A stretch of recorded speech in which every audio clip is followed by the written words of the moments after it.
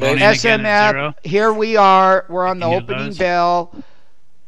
We have a gap and a fade on Amazon. Everything is gapped up and then faded back. They're trying to make markets coming back upwards. If I take a look at several other names that is being covered, Google chart the same way. It it it did the same way. A lot of them have done the same thing. The um, the nice shakeout right here on this Apple trade and he shoots it up right here. He can't even get above half of the bar. So it was all about sell that gap. Today, day five, FCX over here, it's in this chart, it's got some weakness. Here we are in the TQQQ bull right here, MMTs. You can see when that bull shot down, first Apple started the move here, like I said in pre market. FCX, it just came down and hit support.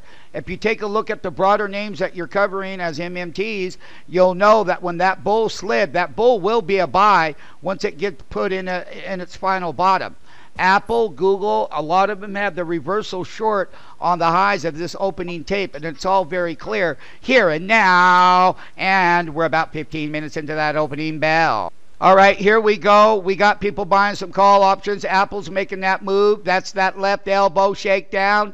Here you go on Google. They slammed them up here. They slammed them back down on the opening bell in the first 15 minutes of the opening bell. That's Google. This one is Apple. This one is FCX.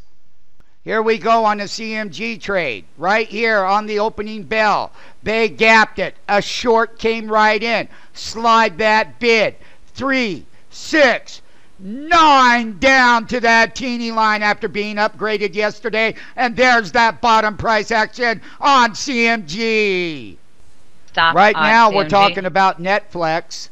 And Netflix in the broader market in the first 18 minutes have had their highs put in and slammed them yep. all down. Every one of them are the same. Apple is the same. It's going to take a little I'm while to put in these I'm bottoms here, but it's all about the bottom. It's all about the ratio. It's all about doing what MMTs are taught to do. Oh. Okay? Yeah, they're popping that damn freaking thing, man. Oh dear. I'm gonna uh, tell TX everyone the double bottom here. We've been opening at 7:13. If I have MMTs talking in these videos, I ain't doing no more for you.